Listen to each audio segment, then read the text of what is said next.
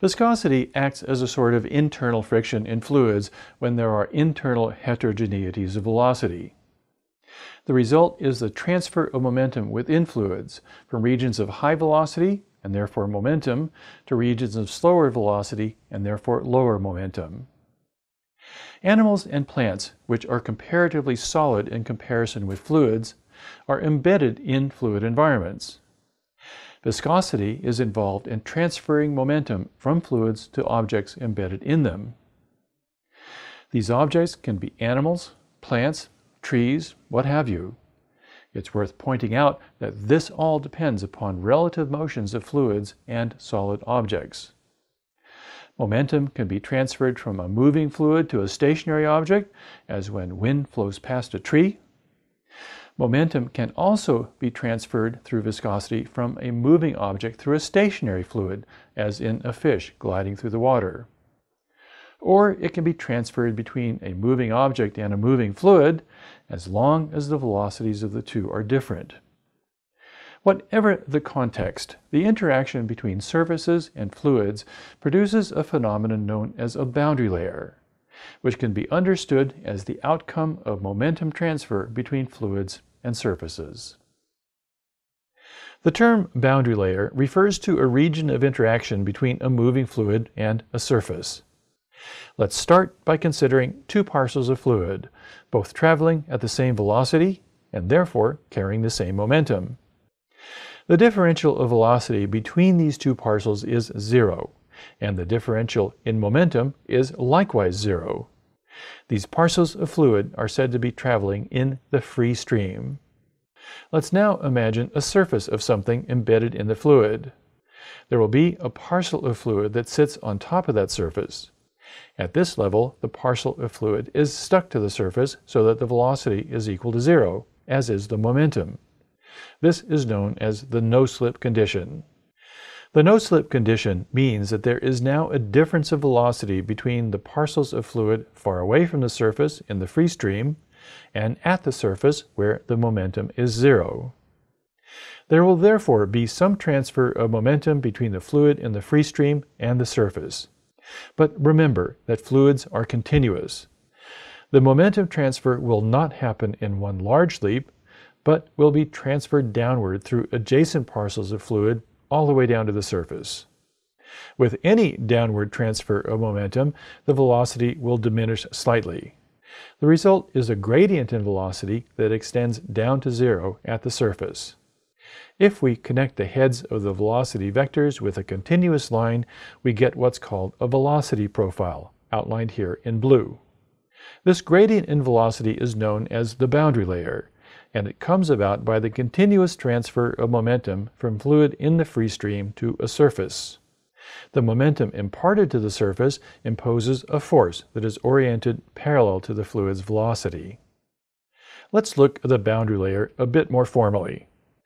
The boundary layer is indicated by a plot between velocity of the fluid on the x-axis and the height above the surface on the y-axis.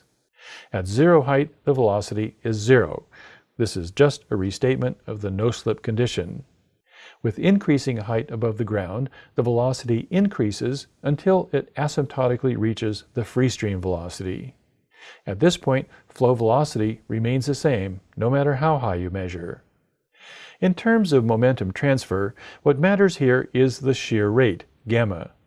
This is simply the first derivative of the velocity, dv over dh, indicated by the tangent line of the velocity curve. There's something to note here that might help avoid confusion. The shear rate is dv over dh, that is, dx over dy. When you learned about first derivatives and tangents in calculus, you probably learned the first derivative as dy over dx. That is, the differential of the dependent variable y over the independent variable x. Our boundary layer plot essentially reverses this, plotting the dependent variable velocity on the horizontal axis and the independent variable height on the vertical axis. The reason we're doing it this way is more tradition than anything. Meteorologists have long plotted the boundary layer as height versus velocity. Just keep this in mind. and what follows will make a lot more sense.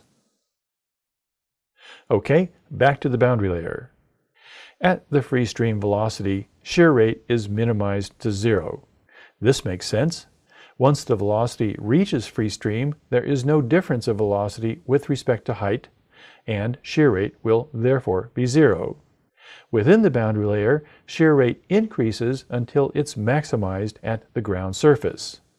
This means there is very little vertical transfer of momentum outside the boundary layer, while the vertical transfer of momentum is maximized closer to the ground.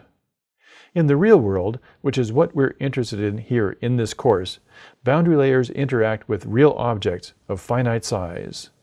This adds an additional wrinkle to how boundary layers behave in the real world. Imagine a flat plate of length s. We're designating this length as s because this is something called the characteristic dimension of the plate. Let's say that there is a wind that flows parallel to the plate at velocity v sub fs, so called because this is essentially the free stream velocity. As the wind encounters the plate, shear forces will develop between the stationary plate and the moving wind. There will develop a characteristic velocity gradient in the wind speed with respect to height off the leaf surface, which we're plotting as little boundary layer plots. These gradients will get longer the further along the plate the wind flows. If we plot the upper margins of the boundary layers along the plate's characteristic dimension, we see that the thickness of the boundary layer, indicated by the yellow brackets, increases up to a point where the boundary layer is fully developed. Upstream from that, that is, from the leading edge of the plate back, the boundary layer is said to be developing. Theoretically, the boundary layer is only fully developed when the characteristic length of the plate approaches infinity. In the real world, there's no such thing as an infinitely long surface although some surfaces, like open fields or stream beds, come close to having fully developed boundary layers.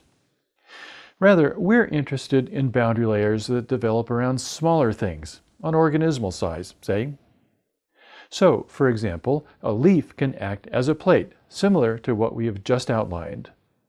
The boundary layer is very important to the function of the leaf, and it limits not only momentum transfer, but also transfer of things like heat and water vapor exchange between the leaf and atmosphere. Boundary layers in these instances are rarely fully developed. This means there are a lot of complicated things that go into the shape and thickness of a boundary layer.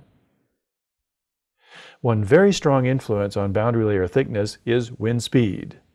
Imagine that we have a plate as described above, with wind at a speed of v sub fs, flowing parallel to the surface. The developing boundary layer is given by the orange dashed line, and it has a particular thickness, T sub BL. Now imagine the same plate, but with a reduced wind speed. Slower wind speed will produce a thicker boundary layer. Why?